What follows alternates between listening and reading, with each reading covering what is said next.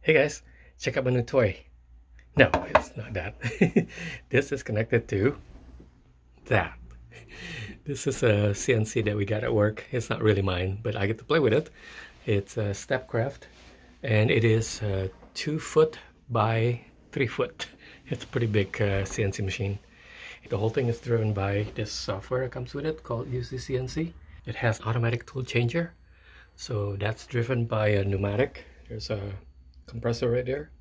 There's a box right there that controls it. And the whole thing is pretty awesome. So uh, currently it is holding tool number two. You can see that that's tool number one and that's tool number two. It's empty because it's right over there. So I'm gonna tell it to run a program that will use tool number one. Somewhere here it says, yeah, I'm going to change it to tool number one. And when I run this, it should switch tools and start the job. Cross my fingers. I'm still a noob here. So yeah, over.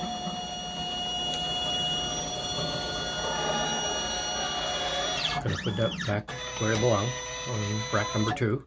That's the compressor, releasing that. Gonna come over and the compressor gonna kick in again. Gonna move it out. Gonna go back over there and start the job.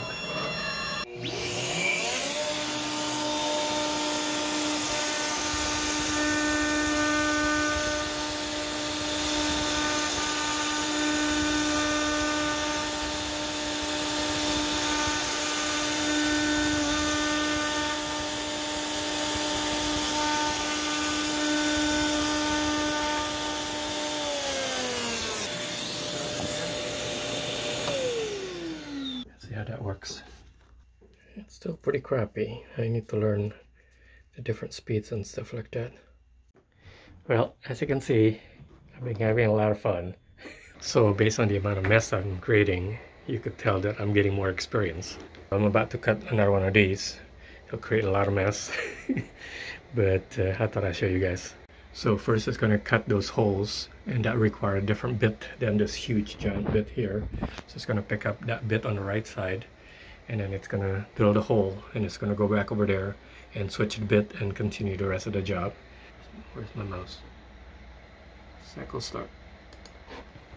So it's going to go pick up that smaller bit it's really really tight. I mean it I regularly see it touch the other uh, tool holders next to it.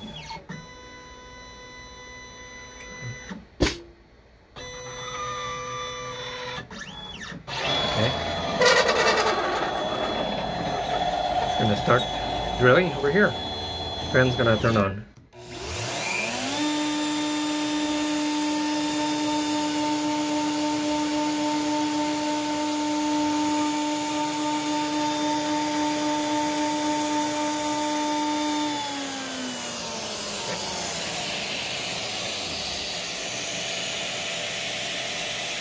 gonna park over there while I tell it it's okay to change the bit.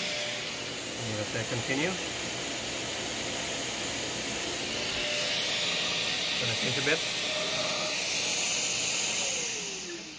The fan is uh, the vacuum is like on a little delay, so whenever this motor runs on, the vacuum automatically kicks in, and it when it stops, it stays for I don't know about 30 seconds or so. So now we'll do this one.